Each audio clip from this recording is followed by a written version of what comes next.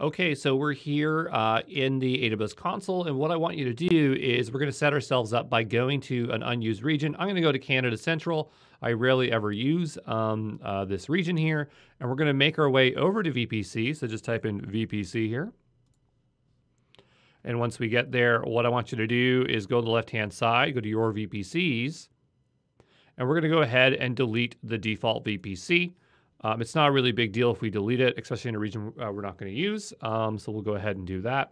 Just make sure it's in a region you, you never plan to use.